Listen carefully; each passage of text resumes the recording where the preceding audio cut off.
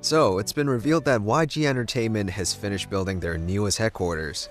The agency announced that the new HQ that they've been working on for 8 years has finally been completed, and they have also been slowly moving everything into the new base since September 16.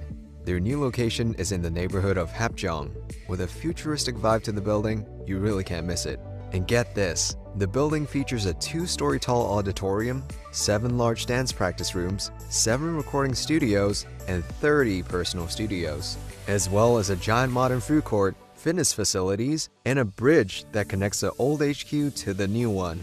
It all sounds too good to be true, but it's YG we're talking about. They definitely have the resources for it.